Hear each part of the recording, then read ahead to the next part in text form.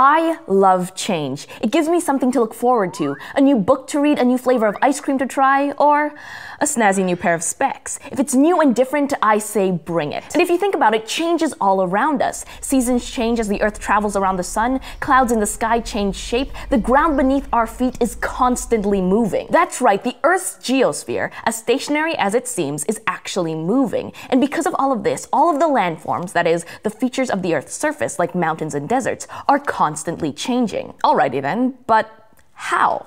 How do landforms form and change over time?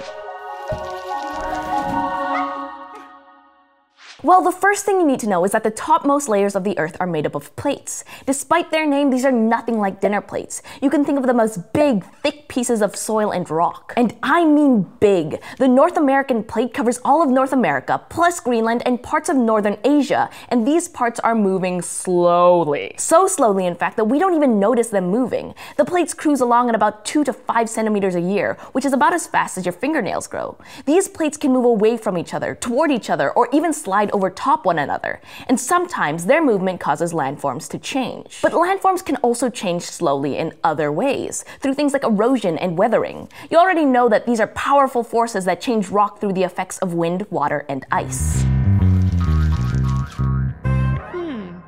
For example, the Grand Canyon in Arizona was formed by the Colorado River and other forms of water slicing through a plateau of rock through erosion over many, many, many years. If you're the impatient sort, though, have I got news for you. Sometimes landforms can change quickly. I mean really quickly, as in within a few minutes. So let's take a look at different ways that landforms can change by exploring a couple of particularly famous examples. Let's start with one of nature's most famous quick changes. A volcano in the Pacific Northwest of the United States called Mount St. Helens did some serious land landform rearrangement in May of 1980. The surface of the Earth went from this to this in a matter of minutes. The force of the eruption caused the largest landslide in history, which changed even more the way the land looked and still looks today all around the mountain. But most landforms change much more gradually. And by gradually, I mean so slowly that we don't even notice them changing at all. The Grand Canyon is a great example of this, but it's not the only one. In the early 1800s, a group of explorers stumbled across a really cool rock formation in the White Mountains of New Hampshire. Because the shape of the landform looked like the profile of an old man.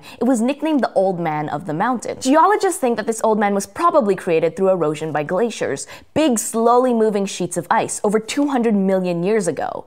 And there the old man stayed, exposed to wind and snow and ice. In other words, weathering and more erosion. He looked pretty much the same for millions of years, until 2003 when finally the whole formation tumbled off the side of the mountain. The Old Man of the Mountain is a great example of how landforms are both created and continuously changed in ways we don't even notice until we notice them.